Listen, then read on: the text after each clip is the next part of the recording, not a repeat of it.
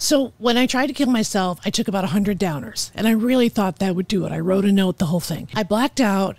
And the worst part about trying to kill yourself is waking up.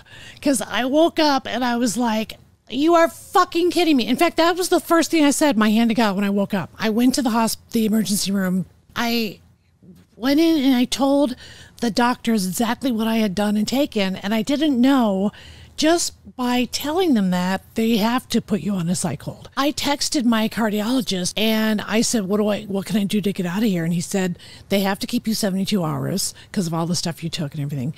And they also ask you if you wrote a note. And I said, "Yes." And so by being honest about that, that's another sign that they go, "Okay, she didn't just take all these meds that are in her urine sample, she admitted to writing a note. So they judged the seriousness based on some questions. Is it more And- serious to write a note? Yeah. Yeah. I think they think that means you, you mean business. So I think I just thought I could talk my way out of it, go home and just kind of recuperate. And I remember saying to the doctor, like, okay, well, this is great. Thank you for, you know, the saline. I'm fine. I'm going to head out. And he was like, no, no, you're going to stay, you know. And um, I said, no, no, I'm good. And then I go, just, I'm not going to do this. But what if I just like pulled out the IV? I'm just asking. And he pulled back the curtain. He's like, see those two cops? They put the bracelets on you. And I will never forget that expression the bracelets, the handcuffs. And so I was in the nut bin for three days. And they, you know, I that I talk about that in the show because there were parts of it that are funny because it was so crazy and it was Wait, so when did you realize by the way, I'm 59 when this happened. Right. This, nobody ODs at 50. Like nobody reaches their bottom, as we say in 12 step, at 59. This happens to like 19 year olds.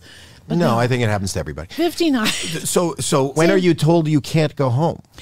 When uh, after about an hour, well, when they first said we're going to put you on a 5150, Oh, they say that to you. And because I've, of course, done material in my act about Kanye and Britney Spears, I know exactly what a 5150 is. And then I started trying to talk my way out of it. And that's when they pulled back the curtain and that's where the cops were. And then they just process you like any other time you're in the hospital. and then did they walk you upstairs? Is there a are you in a you're, lockdown? well, you're on, you're getting an IV of saline. right? So you're already tethered to an IV. So they, they just roll you in the gurney. And they, I actually did get my own room, which was good. And so I was just in a room for three nights and they had this poor woman that would sit at the foot of the bed. And I honestly didn't understand what was going on. You didn't. And I would You didn't know that's like a oh suicide oh my watch, gosh, right? Oh my gosh, Consuela, you should go. I'm totally just going to fall asleep. I know I'm being boring today. And she'd be like, Oh, Miss Griffin.